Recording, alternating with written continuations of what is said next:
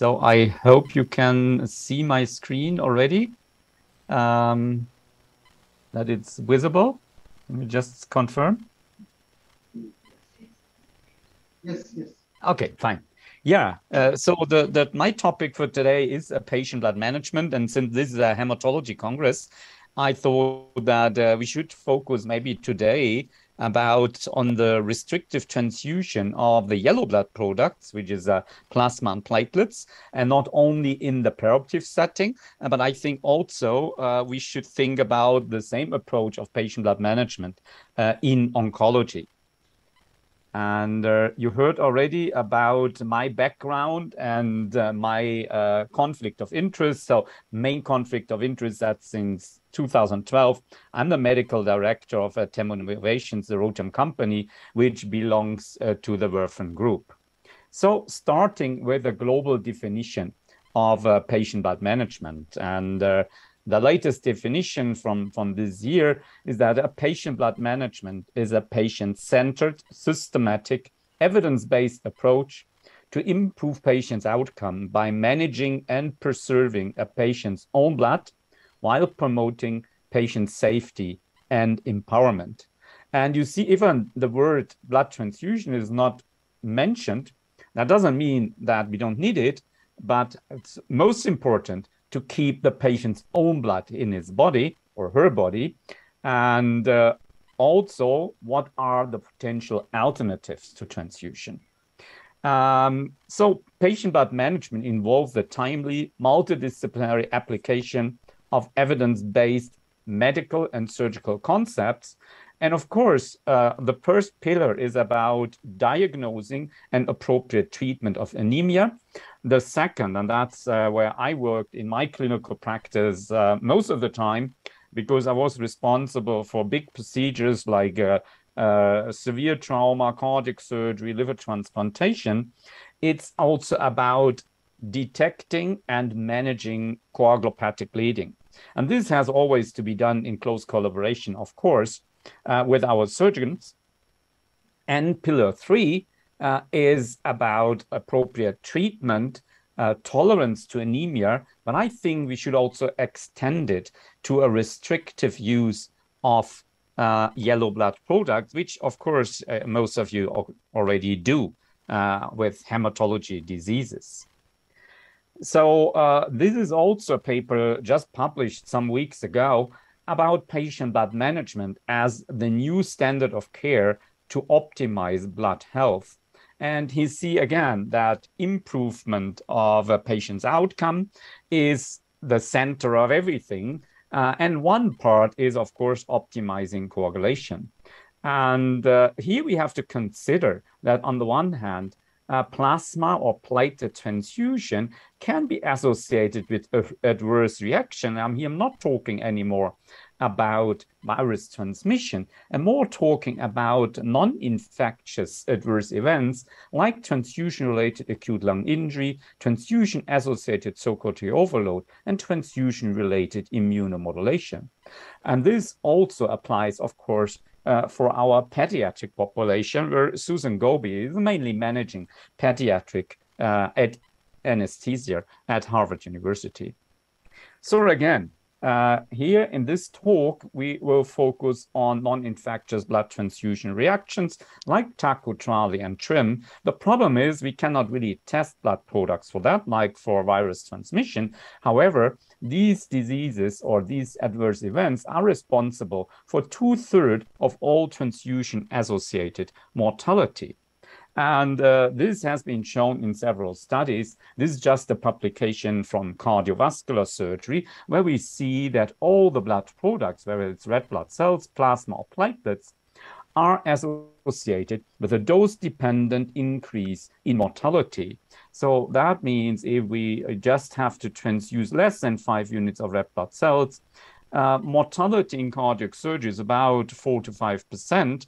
But if it's increased to more than five units, you see it went up to about 24%. And for plasma, it gets even higher to nearly 28%. So why are we transfusing plasma in cardiovascular surgery? And that's maybe a good question because when we look at randomized trials using plasma in cardiovascular surgery or even the Cochrane meta-analysis published in 2015 based on 15 randomized trials, it's a little bit disappointing because transfusion with fresh frozen plasma was inferior to control, which was no transfusion of plasma, for preventing patients receiving any red blood cell transfusion. And the odds ratio for red blood cell transfusion was even 2.57. So it's more than doubled if platelet transfusion was done. And this can only be explained because uh, plasma transfusion is not very effective to treat a coagulopathy, but it's very effective to dilute the hemoglobin level, uh, since plasma is usually uh, a huge volume intervention because we need for that it's effective in any way 10 to 15 milliliters per kilogram body weight. So the effectiveness is not really high when we move even to patients with chronic liver disease. So, for example, here in patients with acute variceal hemorrhage, a recently published multi-center trial showed that in this setting, even fresh frozen plasma was associated with an increased odds of mortality at 42 days with an odds ratio of 9.4. So that means nearly tenfold increase in mortality. And at the same time, there was a failure to control bleeding at five days with an odds ratio of nearly four and a prolonged length of stay at the ICU. So the explanation here is that in particular in patients with cirrhosis, the best driver uh, of bleeding is portal hypertension. And again, giving plasma transfusion, of course, increases portal hypertension, and therefore it's independently associated with poor clinical outcomes. And that brings us back to the group from Susan Goobie from Boston, where she published already two years ago in a review paper, uh, again, that we should not only focus in patient blood management on the reduction of red blood cell transfusion, uh, even for the yellow blood products, plasma and platelets, most of the time they are transfused without a well-defined clinical indication. It's more based on gut feeling or that we want to correct numbers. However, the correction of numbers seems not to be a good idea uh, because that is associated with significant serious uh, adverse events. So therefore, Susan Goobie promotes the more goal-directed use of these products. That means we should only give the right product at the right time to the right patient and for the right indication and limiting unnecessary exposure, which finally results in an improvement in safety and outcomes by implementing a patient blood management approach. Let's move to platelets because thrombocytopenia is, of course, something which is uh, an important issue in cardiovascular surgery, liver transplantation, trauma, but also in all the critical ill patients at our ICU. And the question is, what is the impact of platelet transfusion in these patients on patients' outcome? We know there is a close interaction between platelets and fibrin for building up a clot uh, latest when we discuss the cell-based model of hemostasis. So going to our patients and discussing preoperative platelet transfusion in patients with thrombocytopenia undergoing non-cardiac surgery. So in this study, they included patients with a platelet count below 100,000, and 8.3% of these patients received a platelet transfusion preoperatively. However, this was not associated again with a decrease in red blood cell transfusion. It was the opposite again because it's increased from 49 to 66%. And in addition, there was a higher rate of ICU admission and a longer hospital length of stay. So what's about our pediatric population? And there's also a quite big study in more than 800 patients. 7.1% received at least a platelet transfusion while on the pediatric ICU. most often indication was platelet count below 50,000, in particular in patients less than 12 months. So uh, what was the outcome in this patient population? Again, multiple organ dysfunction syndrome increased with an odds ratio of 2.5 and mortality increased with an odds ratio of 10. So again, a more restrictive approach seems to have the chance to avoid uh, complications and to improve outcomes. So if we go into specific settings, and that was, uh, yeah, my place to work for over eight years, uh, to deal with patients who have to undergo liver transplantation. And this is a study already published 13 years ago from Groningen in the Netherlands, because they could show that the intraoperative transfusion of platelets during liver transplantation was associated again with a significant increase in acute lung injury and mortality. And this was independent whether these patients get more or less than six units of red blood cells it was just the the fact that they get to, uh, platelets transfused during liver transplantation. And again, it was also independent whether before platelet transfusion the platelet count was higher or lower than 50,000. So anyway, uh, platelet transfusion was associated with a significantly decrease in one-year survival from 92 to 74 percent. And the same could be shown just four years ago by another group from China, also looking at the effect of platelet transfusion here on 90-day cumulative survival. And again, it dropped from 94 to 79%. So every unit of platelets transfused was associated with a hazard ratio of 3 uh, for 90-day uh, mortality. So is that only in patients with liver transplantation? So looking at a study published five years ago, uh, and looking at the effect of platelet transfusion in patients with GI bleeding, taking antiplatelet agents, uh, univariate analysis showed a significantly increase in major cardiovascular events uh, from 13 to 23% and in mortality from 1 to 7% uh, and also uh, hospital stay longer than four days from 33 to 47% in the patient population with platelet transfusion. And still multivariate analysis showed an increased risk of death with an odds ratio of 5.6. And even recurrence of bleeding was higher in the group of patients who received platelets by about 50%.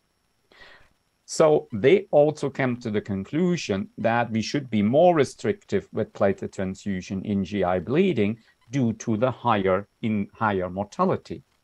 So you might say, okay, that's just cohort studies, and maybe they were more severely ill, and therefore they get platelets transfused. So it's not the platelet transfusion, maybe it's just the severity of disease. So therefore, now looking at patients with uh, undergoing uh, randomized trials. And uh, this is a patch trial uh, which looked at platelet transfusion versus standard of care after acute stroke due to spontaneous cerebral hemorrhage associated with antiplatelet therapy. And again, the odds for death or dependency at three months were higher in the platelet transfusion group with an adjusted common odds ratio of two. So the interpretation also for this study, which was published in Lancet, not a bad journal, uh, was that platelet transfusion seems inferior to standard of care for people taking antiplatelet therapy before intercerebral hemorrhage. And platelet transfusion cannot be recommended for this indication in clinical practice anymore. Looking again at the neonatal ICU, uh, we're looking at uh, this study published in New England Journal of Medicine in 2019, um, where they compared whether a preterm infants with severe thrombocytopenia received platelet transfusion as a more liberal threshold of 50,000 per microliter or with a restrictive threshold of 25 uh, per microliter. And again, the liberal platelet transfusion were associated with more mortality with an odds ratio of 1.57. So in the editorial to this uh, important publication, then it was mentioned that it is now clear that platelet transfusion may have deleterious effects in preterm neonates, as shown for adults. And the evidence from this trial strongly suggests that less is more when it comes to the management of neonatal thrombocytopenia. However, the question is, what should we do? When we cannot just rely on platelet count for the indication whether we should transfuse platelets or not. So recent evidence is more and more showing that adding functional testing like thromboelastometry to platelet count might be able to improve the diagnostic performance to predict bleeding in patients with severe thrombocytopenia. So here we are looking at a study already published in 2014 in patients with immune thrombocytopenia.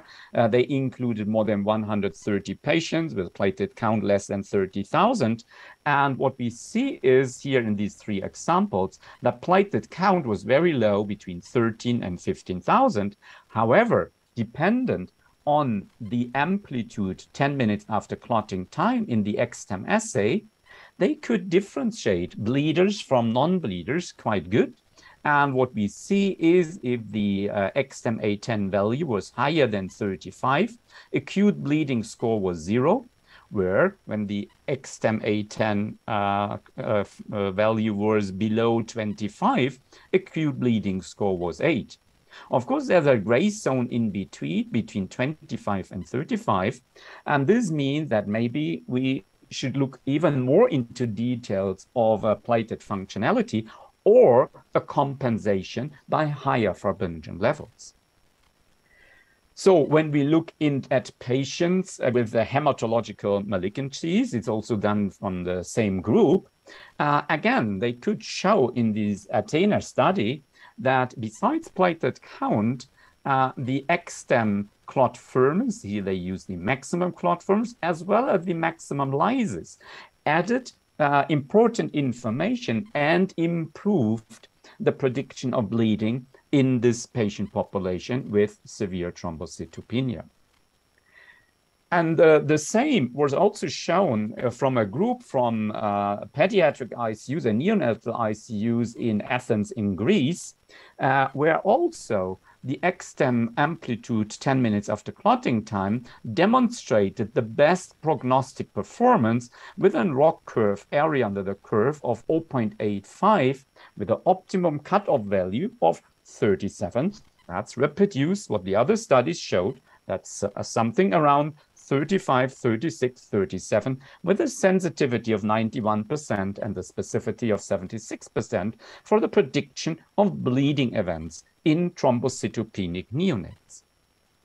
So what this group did was then developing a new bleeding uh, prediction score where they combined the use of uh, ROTEM parameters like here EXTEM A10 and lysis index 60, of course, with classically parameters like platelet count and creatinine level, because we also know that uh, a renal dysfunction can have a significant impact uh, on bleeding. And with this combination, they developed a neonatal bleeding risk score with an excellent performance to predict bleeding in patients, uh, neonates, um, with thrombocytopenia, again with a ROC area under the curve of higher than 0.9. So after performing this development study, they also did a validation study in a new patient population with, again, 134 neonates with thrombocytopenia. And also then in the validation study, they confirmed uh, a very good uh, ROC area under the curve here with 0.938 to predict any bleeding and 0.952 to predict severe bleeding. So this might be helpful in the future to better characterize which patients will really benefit from a platelet transfusion because we know that a liberal way to transfuse platelets in this patient population is associated with a lot of risks. So what I would propose now, from my personal point of view, is that we should extend the concept of patient blood management from palliative management to oncology. And the third pillar should also include the third pillar is about restrictive transfusion. And the restrictive transfusion also of yellow blood products like plasma and platelets, which means we should not use these products to correct number in non-bleeding patients. So we do, should use them more restrictively. Of course, we are on a very small line between coagulopathic bleeding and transfusion-associated adverse events. However, I think when we are liberal, we do it more for the con confidence of, of the physician that we feel better. But when we look at the data, a more restrictive approach might be better for our patients. So looking now at the uh, effect of platelet transfusion or alternatives and how we can also monitor these effects uh, beyond just looking at the platelet count. So this is a study already from 2009. And what it showed is that, of course, with a platelet transfusion, we see an increase in uh, platelet count. Here it was uh, 12,000 per microliter. And at the same time, we could also see what's the effect on maximum clot firmness, which uh, here was associated with an increase of 9.5 millimeters. To my experience, usually it's associated to an increase of 8 to 10 millimeters per uh, pooled or apheresis platelet concentrate. That's also reproduced here in patients with severely thrombocytopenic hematology patients. Um, you see here platelet count was 5,000 with platelet transfusion, it just increased to 11,000. So that's not a very impressive increase. However, when we look at the effect on clot firmness, uh, this was quite good with even increase in 20 millimeters. So that means, yeah, just the increase in numbers doesn't tell us really what is a functional change in this patient.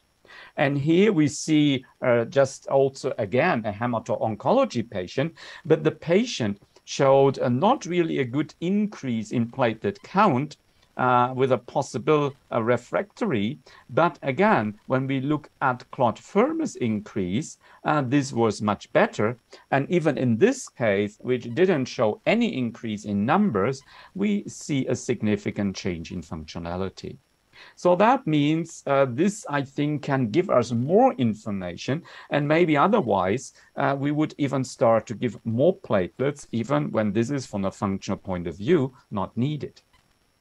So what about the application of thromboelastometry in patients with acute promyelocytic leukemia? Uh, here again, uh, it could have been shown, and it's just published in the beginning of this year, uh, that again, uh, hemorrhage could be predicted by um, the clotting time in extem as well as the clot firmness in intem or extem. And also, this was predictive for hemorrhagic early death in this patient population. However, using thromboelastometry alone might not be perfect. So again, we should also look at, of course, at the platelet count and D dimers, because in particular also D dimers was able to predict bleeding as well as hemorrhagic early death. And what we learned in the last three years about COVID was that the combination of ROTEM results and standard coagulation tests is the best way in COVID to predict thrombosis, but in these patients with leukemia to predict hemorrhage or even hemorrhagic early death. So I think, again, the future is to develop combined scores uh, for the best combination of ROTEM and uh, conventional coagulation tests in identifying patients at risk for hemorrhagic early death. Here we see just the data also from this study that, of course, age is an important parameter. A platelet count only predicted bleeding, but not um, uh, early death. D dimer was predictive for both, and that was the same for extem clotting time and could be supported further by uh, amplitude after 10 minutes in intem and extem as a clot firmness results. And maybe also that we have to look in a bigger patient population, also lysis parameter might be helpful here. So coming back just once for, to the perioperative setting, where we know that uh, elevated fibrinogen levels can compensate for thrombocytopenia in cardiac surgery and very important in liver transplantation because here we see that very often there's a rebalance that the low platelet count is a counterbalance by high fibrinogen and high thrombin factor levels. But then we have to reach levels for fibrinogen which are higher than 240 milligrams per deciliter or 2.4 grams per liter. And uh, this is supported also by uh, several studies um, uh, here from uh, the group from Innsbruck that, for example, fibrinogen supplementation increased the clot firmness in the same way as platelet transfusion. So it depends on the risk benefit ratio in each individual patient, where we might even try first to compensate a low platelet count by increasing the fibrinogen level or even decreasing the need of platelets by combining both. And here we see on this graph that at baseline we have a significantly reduced clot firmness. Uh, then after giving fibrinogen concentrate in two dosages, uh, we uh, come close to the reference range.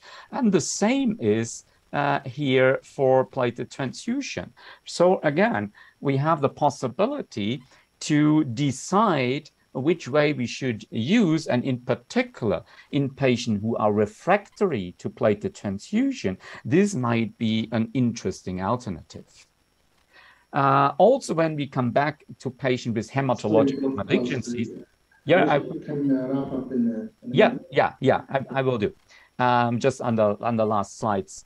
Um, yeah, uh, also in hematologic malignancies, it has been shown that this concept is also working.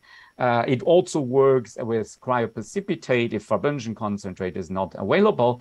And even the guidelines changed in the last 10 years quite significantly because also it was more and more recognized that uh, prophylactic platelet transfusion, the evidence is very low, but the potential harm is quite uh, big. So, and that brings me, yeah, to the last but one slide. Uh, maybe you know that the World Health Organization last year uh, sent out a policy brief about the urgent need to implement patient blood management. But again, it's not just about reduction in transfusion, it's about patient safety. And I think that's something which we always have to consider, and less can be more uh, in this uh, setting. And thank you for your attention and open for questions.